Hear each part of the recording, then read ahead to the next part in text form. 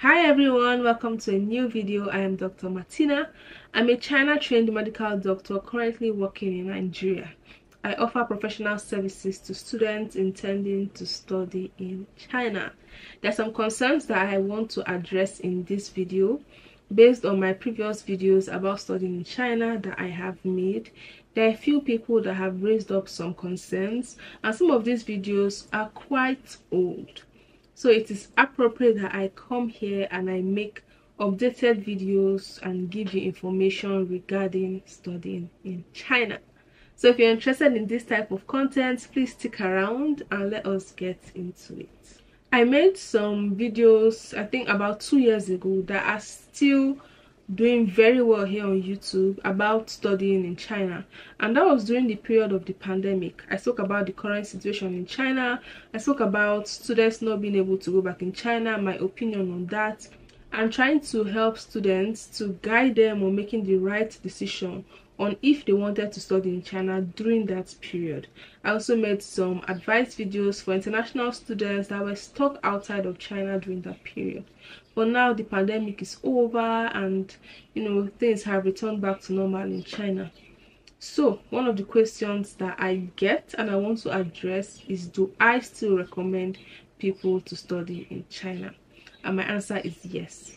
I studied in China for six years. I was a medical student and I had a great experience in China. I have my reasons for going to study in China and most people that come to me and reach out to me are looking for opportunities to study abroad. Some people have considered China based on my experience also.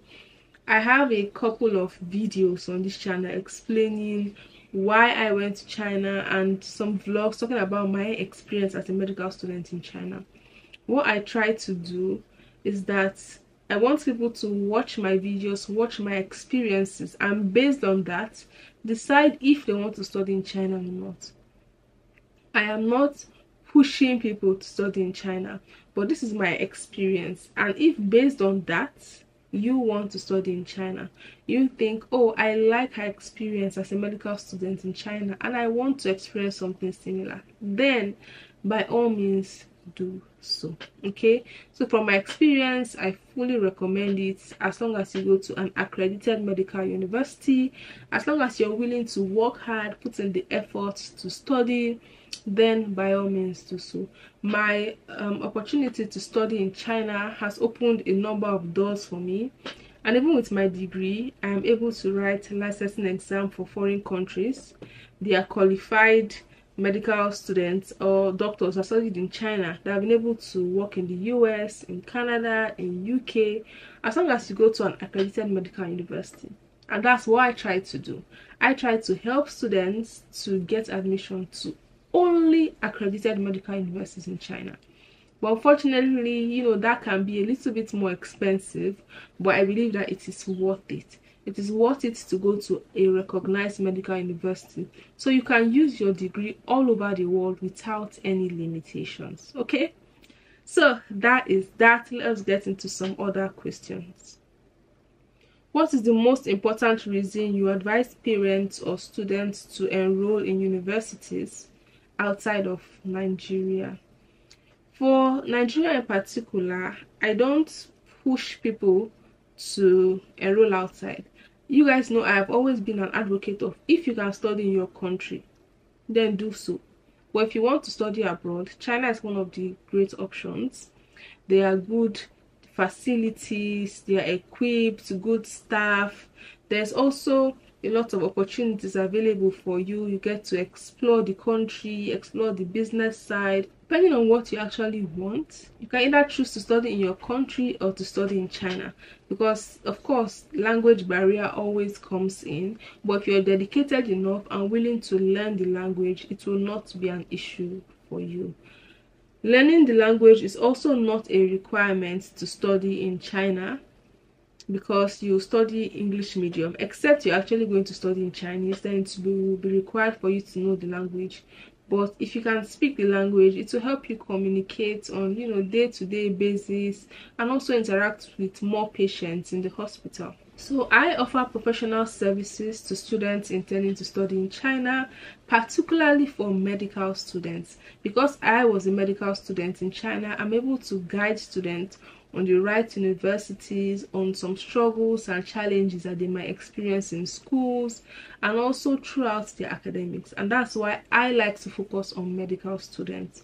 But I also offer services to students that want to study other courses like business or engineering, um, international relations, pharmacy, dentistry. I also offer services for this. So if these are the courses you're interested in, you can also feel free to reach out to me.